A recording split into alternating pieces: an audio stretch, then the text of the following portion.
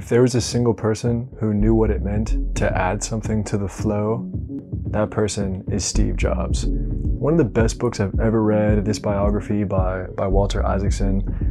Yes, it's full of insightful business lessons and, and poignant takeaways for sure. It's also hilarious. It's full of fights and jokes and yelling and sex and drugs and it's hysterical. I was laughing my ass off reading this book. This is the longest book I've read since I was an angsty teen reading about horny vampires.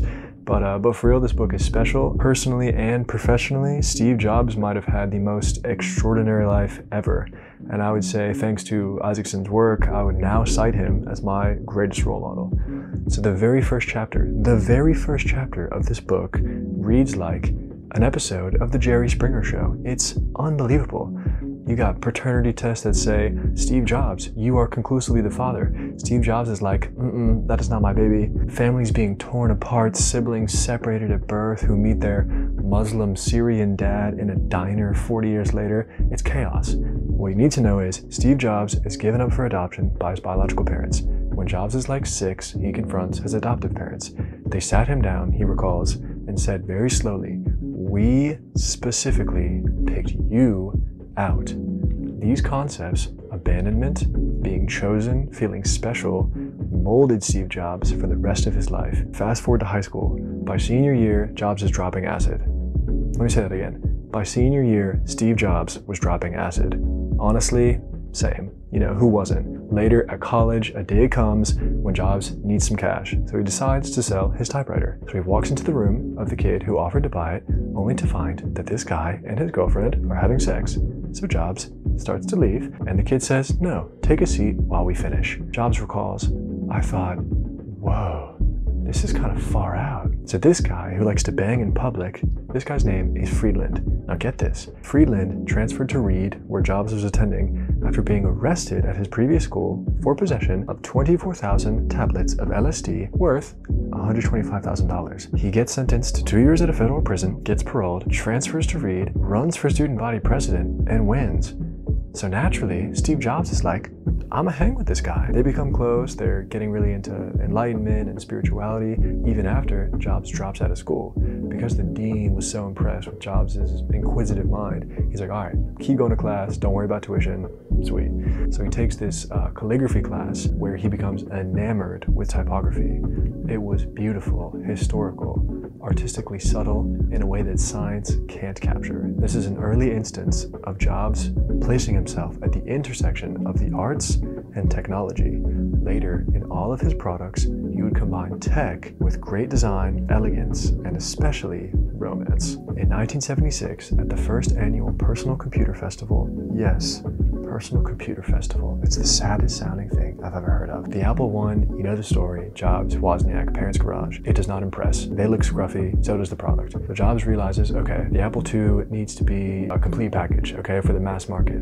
So to realize this fully integrated Apple II, they need money. So they start looking for investors and they get connected with this guy, Mike, Mike Markkula. So Markkula writes his Apple marketing philosophy on a one-page paper that stresses three points. The third of which is impute. People do judge a book by its cover, he writes. We may have the best product, the highest quality, the most useful software. If we present these in a slipshod manner, they will be perceived as slipshod. If we present them in a creative, professional manner, they will impute the desired qualities and reaction. Jobs would remember this for the rest of his life, obsessing over marketing, image, and packaging. When you open an iPod, iPhone package, we want that tactile experience to set the tone for how you view the product. Mike taught me that. So as Apple is getting its feet off the ground, Xerox is also developing a small personal computer, developing user-friendly graphics that would replace all the command lines and prompts that made computers at this time really intimidating. So one of the Apple employees, this guy Raskin, is like, look, everybody, Jobs, go check it out. The only problem is Jobs found this guy Raskin insufferable, or to use Steve Jobs' own words, a shithead who sucks. Steve Jobs, you see, had this charming habit of categorizing everyone he worked with as either gods or shitheads, either the best or total shithead asshole morons. Eventually, Jobs was like, all right, I'll peep what Xerox is up to. He knows it's the future. He loves it. And he can tell that Xerox is not taking full advantage. So listen, listen, listen to what Steve Jobs tells one of the head designers at Xerox Everything you've ever done in your life is shit. So why don't you come work for me? Let, let's recap.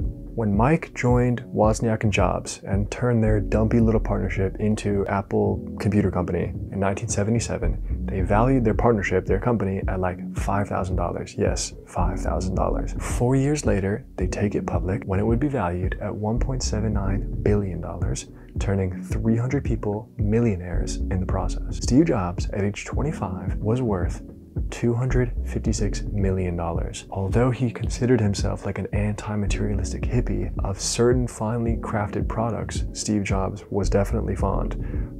Porsche cars and BMW motorcycles, Braun appliances, and Bang & Olufsen audio equipment.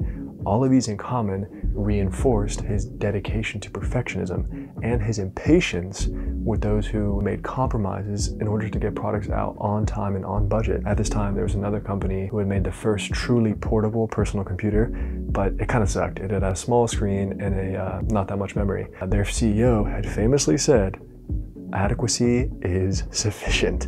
All else is superfluous. Steve Jobs found this morally appalling. Yelling, yelling as he walked around the Apple halls, this guy just doesn't get it. He's not making art, he's making shit. Because Jobs was so particular about design, about perfectionism, he had a hard time furnishing his own house. It was pretty much empty. So when he marries this woman, Powell, and they buy a house in Palo Alto and need to start buying furniture, Powell recalls, We spoke about furniture in theory for eight years. We spent a lot of time asking ourselves, what is the purpose of a sofa? What is the eight year furniture theory?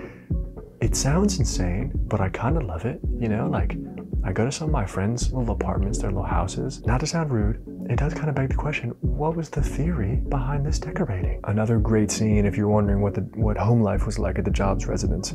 The family eventually needs a new washing machine. So Jobs does some research and he finds out that European washers are more efficient, they're not as rough on your clothes, but they take twice as long as North American washers. Jobs says, we spent a lot of time talking about design, but also about the values of our family.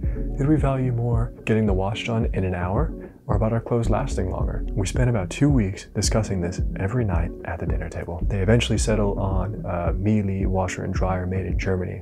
I got more thrill out of those than any other piece of high tech in years, Jobs said. Okay, if the Miele advertising team is not using this exact story verbatim in their marketing, to quote Steve Jobs, what is German for there's some shitheads who suck? All right, in 1985, some drama goes down. Jobs gets forced out of Apple. He goes for like 12 years. He's doing other stuff. At the time, Apple, under this CEO, Amelio, who's like not good with design, he doesn't appreciate it. The product development process goes back to being engineer driven, meaning the engineers, they're like, all right, here's the processor, here's the guts, here's the hard drive.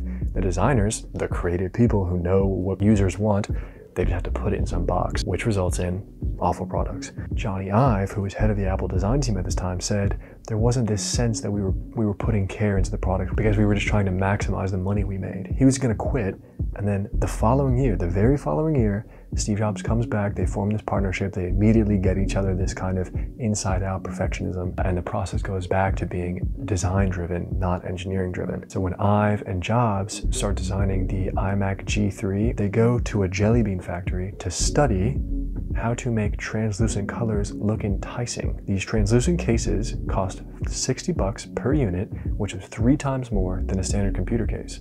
At other companies, this kind of decision, right, would have demanded presentations, you know, PowerPoints, analysis. We need to make sure that the, that the extra case justifies the price of the. Steve Jobs said, "I don't want none of that. This is this is sweet. Do you understand what we're talking about here? Bill Gates would never be caught, would never be in a jelly bean factory in the first place. You know, one of my professors once said creativity, he had heard, had been defined as unexpected connections between unrelated ideas. That is jelly beans and computers.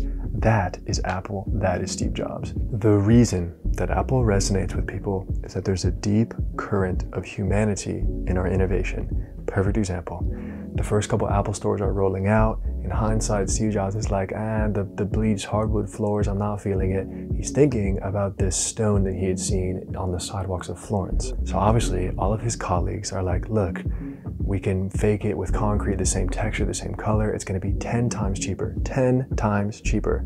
Steve Jobs he wants to use this blue stone Pietra Serena from this quarry outside of Florence. Again, go back to Microsoft, go back to Sony. Let's put some concrete down, save some money, and call it a day.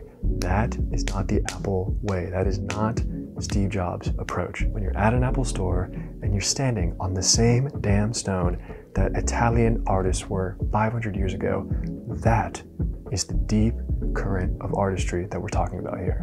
What drove me, asked Jobs, as his cancer numbered his final days. It's about trying to express something in the only way that most of us know how. Because we can't write Bob Dylan songs, we try to use the talents we do have to express our deep feelings, to show our appreciation of all the contributions that came before us, and to add something to that flow. That is what has driven me. The personal computer was not Steve Jobs' contribution to mankind. Marrying art and technology in ways that only he dared to do, he contributed unrivaled craftsmanship to the stream of history and flow of human consciousness. You and I and everyone on this planet has a chance to do the same. Now, what are we going to add?